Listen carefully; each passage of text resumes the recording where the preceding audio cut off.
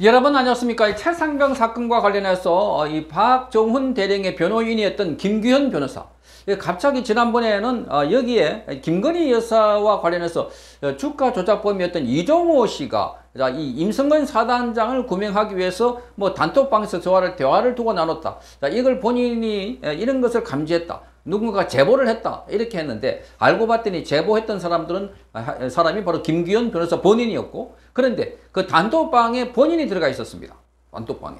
단톡방에 본인이 들어서 그때 어, 김건희 여사와 관련돼 있다고 하는 이 이정호 씨 이정호 씨가 그 이제 주가 조작 관련된 자, 자인데 이 사람하고 선배라고 부르고 형이라고 부르고 잘 친하다고 합니다. 그러니까 자기들끼리 친하면서 대화를 나누고 골프로 치러 가자 뭐 이야기를 했다고 하는데 그런데 나중에 이걸 가지고 야 이게 지금 어, 김건희 여사 쪽에 관련된 사람이 임성근 사단장을 구명하려고 한다. 자, 이런 제보를 해가지고 수사가 시작됐는데 알고 봤더니 그 제보자가 김기현이었고 그 안에 멤버가 바로 민주당의 의원도 있었고 민주당 의원. 자, 김기현 변호사가 무엇보다도 민주당에 이번에 어, 총선에 출마했다가 어, 탈락했습니다.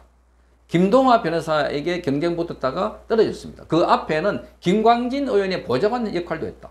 그러니까 지금 이 민주당의 재선 의원이 김기현 변호사가 접촉한 정황을 어, 공수처가 파악하고 그 녹취록을 확보했다고 합니다. 거기 보면 공작을 하기 위한 뭐는 이런 대목도 들린다고 하니까 정말 충격적입니다. 그러니까 이 좌파들의 공작은 자, 이, 이 말하자면은 최상병의 죽음까지도 이용해가지고 그 김건희 여사가 억지로 연결시켜가지고 또 뭔가 탄핵 몰이를 하려고 했던 것 아닌가. 자, 이렇게 해서 지난번에도 어, 이, 이 여러 사람들이 이 건과 관련해서 어, 지금 의혹을 제기하고 있는데 아, 정말 어, 심각하다. 자, 곳곳에서 어, 이런 공작, 의혹, 업무 이런 것들이 끊이지 않고 있다는 것을 알 수가 있습니다. 자, 여기 보면 오늘 동아일보가 단독으로 보도한 바에 따르면은 자, 이 임성근 전 해병대 1사단장에 대한 구명 로비 의혹 등을 수사하는 공수처가 최근에 김규현 변호사와 더불어민주당의 수도권 재선 의원이 만나서 논의를 이어온 정황이 담긴 이 녹취록을 확보해서 수사를 하고 있다. 이렇게 밝혔습니다.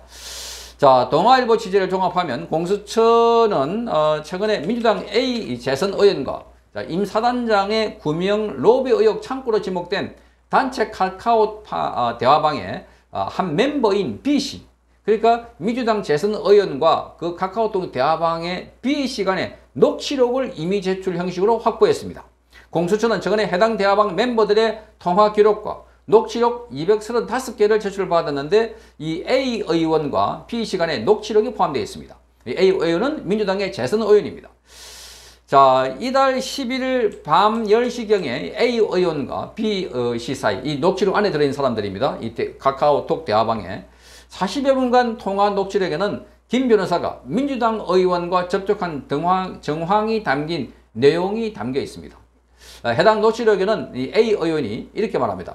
자, 김규현 변호사가 저한테 와서 거짓말도 좀 몇 번 했지만 자기는 송모 승배랑 그리고 이종호 선배랑 다 잘 통하고 있고 대화도 잘하고 있다. 이런 식으로 얘기했다고 B씨에게 발언한 내용이 담겨 있습니다.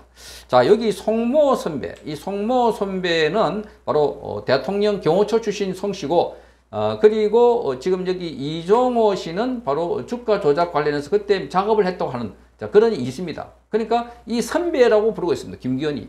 자기가 선배라고 부르고 알고 있는 사람들에 대해서 아 내가 지금 보니까 이 제보한다 이렇게 해가지고 이 이종호 씨가 김건희 여사에게 뭔가 아, 이 구명 로비를 구명 로비를 하려고 한다 이야기를 지금 하고 있는 겁니다. 자, 그래서 어, A 의원이 김 변호사와 만났던 김기현 변호사와 만났다는 점을 언급하면서 제가 듣다가 아니 변호사님이 단톡방에 있으면서 같이 골프 모임도 하려고 했으면서 어떻게 이걸 단톡 누가 카톡방에 캡처했는지도 모른다고 하나 이렇게 물었다고 합니다. 그러니까 자기가 그 안에 있으면서 대화도 해놔놓고 골프 모임도 하려고 했어놓고 이게 누가 카톡방을 캡처했는지 모른다. 그랬더니 김 변호사 얼굴이 시뻘개지더라 이렇게 말했습니다.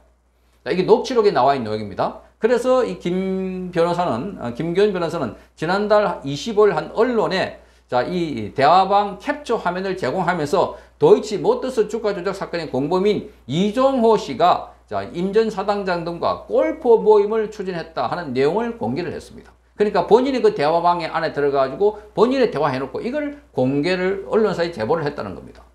정말 기가 막히는 겁니다. 거기서 이렇게 저렇게 하자 해놔놓고 자기가 딱 제보해가지고 야 아니 이런 게 있다더라 전혀 모르는 척하고 그럴 거 아닌가. 자, 이 녹취록에는 김기현 변호사가 지속적으로 민주당 국회의원 측에 연락을 시도했다는 내용이 들어 있습니다.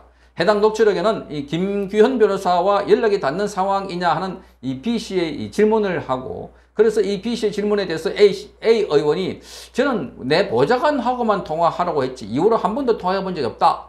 자, 저한테 이 김규현 변호사로부터 전화가 지금도 한 여섯 번 정도 왔네요. 어, 저는 괜히 엮이기 싫어서 통화 안 했다. 이렇게 답했다고 합니다. 그 A 의원과 김기현이 자꾸 연락을 초조하니까 김, 김기현 변호사가 이 국회의원에게 연락을 하니까 내 보좌관에 해라. 나 엮이기 싫다. 이런 이야기 했다고 합니다. 자, 김기현 변호사는 아, 이달 17일 한 언론 인터뷰에서 저는 민주당 관계자가 누군 간에 이것과 관련해서 이야기를 나누거나 교감한 게 전혀 없다 이렇게 말하고 있습니다. 교감한 게 거짓말입니다. 지금 여기 보니까 이 기사를 보니까 김기현이가 거짓말하고 있구나 하는 생각이 드는 겁니다. 자, 그래서 공수처가 확보한 녹취록에는 이 A 의원이 김기현 변호사를 사실상 제보 기억 기획자로 여기는 발언이 들어 있습니다. 자, 이 B 씨가 이 김 변호사가 이렇게 될 줄 몰랐다. 죄송하다고 한다. 이렇게 말하자 이 A 의원이 아, 이렇게 될 줄 몰랐다고 김기현이 뭘 이렇게 될 줄 몰랐어. 이걸 다 지금 기획하고 작업한 사람이지. 바로 김기현이지. 그러니까 기획하고 어, 기획에 기획하고 작업한 사람이지 한 것을 바로 김기현 보고 이야기하고 있는 거예요. 그러니까 김기현이가 기획하고 작업해놔놓고 지가 제보해놔놓고 그래놓고 자기는 전혀 모르는 것처럼 이렇게 말하는 대목이라는 겁니다. 자, 그래서 이 A 의원은 김기현이 이제 카톡방 멤버와 엄청 또 친한 척 하면서 전화하면서 유도 질문을 한 것 같아. 어찌됐건 어, 내가 보기에는 김기현과 이정호 관계도 깊지도 않고 두껍지도 않은데 이렇게 말합니다. 그러면서 이 A 의원은 저는 김기현 변호사의 얘기는 이제 사실 별로 신뢰를 하지 않는다 이렇게 말했습니다. 지금 보니까 김기현 변호사는 아마 자기도 어, 자신도 없고 증거가 불확실하니까 언론 플레이를 하는 것이라고 이렇게 말했습니다. 이 김기현은 그동안 그 청문회 등에 나와가지고 본인이 보고 들은 것처럼 제보했다고 하고 온갖 이야기를 다 해가지고 의혹을 제기했는데 그랬는데 나중에 보니까 이게 완전히 조작된 거. 본인이 지금 조작한 거 아닐까. 그래서 권성동 의원도 이게 가짜 탄핵 게이트다. 자, 그러니까 변호사가 자, 이 박대령, 박대령, 어, 지금 박정훈 대령 그 수사단장이 거기에 변호사가 나서가지고 김건희 여사하고 엮어가지고 또 다른 사건을 만들려고 했다. 그러니까 이 사건 처음부터 무리였지 않았을까? 무리였지. 아니, 자, 이게 우리 해병대 한 사람이 수색하다가 숨졌는데 그걸 사단장까지 여덟 명은 주름이 엮어가지고 과실치사로 엮으려고 하는 것도 무리였고 그렇게 하면 안 된다고 하니까 그거를 지시를 어기고 항명죄를 저지르면서까지 경찰에 넘기고 언론 인터뷰를 했던 사람이 박대령이다. 그걸 대대적으로 선전해가지고 지금 정치 공세를 펴가지고 윤석열 대통령을 탄핵하려고 하는 세력들이 바로 민주당이다. 이러니까 이게 또한 공작이다. 야, 깜짝 놀라겠습니다. 정말 이런 공작 의혹이 갈수록 더 늘어나지 않을까 하는 생각이 듭니다. 자, 공수처는 이 같은 내용이 담겨 있는 어, 녹취록을 확보하고 분석을 마치는 대로 관련 조사와 소환을 이어갈 방침입니다.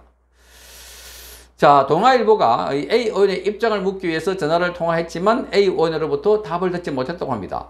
자, 그래서 지금 자, 이게 대통령 경호처 출신인 송모 씨, 사업가 최모 씨 등은 25일 경찰에 출석해서 고소인 조사를 받았습니다. 이들은 지금 이 김규현을 자 김규현을 어, 이 변호 어, 명예훼손 혐의로 고소를 했습니다. 경찰은 이들을 상대로 김규현 변호사와 처음 알게 된 계기, 단체 대화방이 구성된 시점과 배경, 그리고 김기현 변호사가 녹취록을 언론사에 제보한 배경 등에 대해서도 집중적으로 물었다고 합니다. 자, 이러니까 지금 이 사건은 엉뚱한 방향으로 어, 지금 기획하고 공작했다가 자, 박정훈 대령의 변호인부터 먼저 쇠고랑을 찰 것 같아 보입니다. 정말 충격적입니다.